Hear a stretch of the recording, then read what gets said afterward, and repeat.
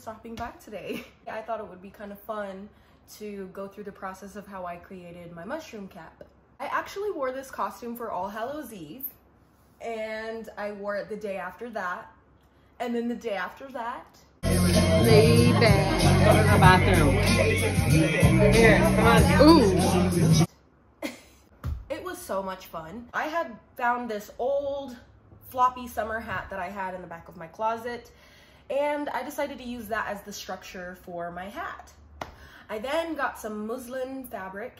Oh, and it could also be pronounced muslin. I wanted to give this illusion that the cap had gills, much like our gorgeous Amanita muscaria here. I decided to stitch ruching along the muslin.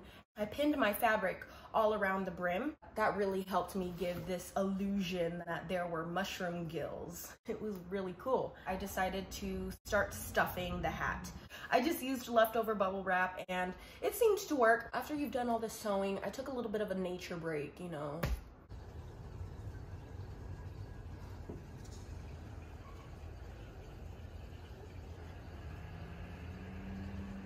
I then decided to lay over my Amanita fabric. So I used velvet. So many different options that they had at the fabric store. Nonetheless, I decided to choose velvet because I love velvet. After this, I just carefully sewed the brim of my hat. I wanted to trim off any of the imperfections.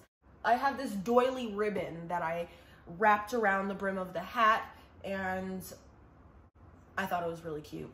I think it added a little bit of something something, you feel me? I just added these little clusters of organic matter that is sitting on the top of the cap in different ovular types of shapes, small, big, medium, and then I just dispersed them all around the mushroom cap.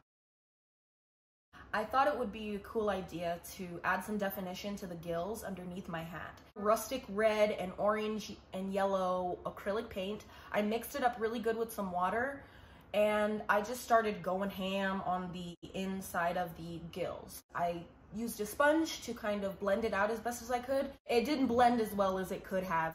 This is enough. I think that we get the point. I paired it with an off-the-shoulder bodysuit that had beautiful ruffles and ruching. Paired it with this really long taupe-colored skirt. to me, that screamed mushroom stump. really, I felt like I was a little fairy and it was so fun. This was me just journaling and documenting my process of creating this hat. I loved it. I loved it. It was a it was a hit. Thank you for stopping by and hanging out with me. I will see you very soon, okay? This was fun.